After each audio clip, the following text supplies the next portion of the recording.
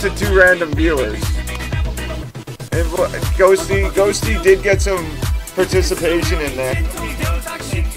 So, even I got some participation. I like, we kind of just stood back and let Mama do her thing. Let Mama shine. Clip that whole thing.